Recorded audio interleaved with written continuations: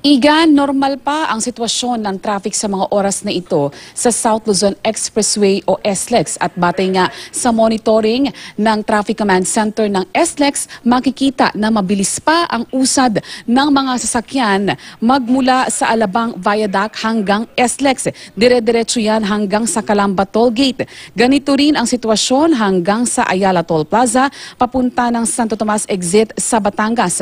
Sa nakalipas na magdamag, Igan ay ah, nanatiling maluwag ang traffic.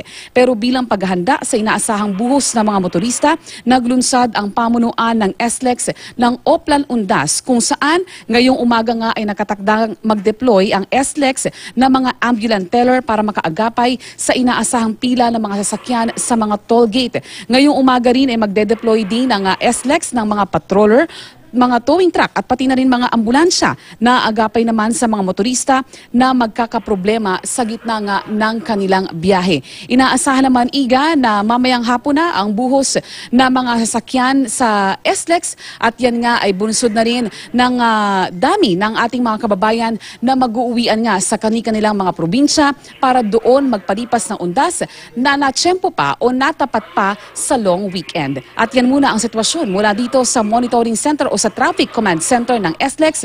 Balik sa inyo, Igan. Maraming salamat, Cecil Villarosa.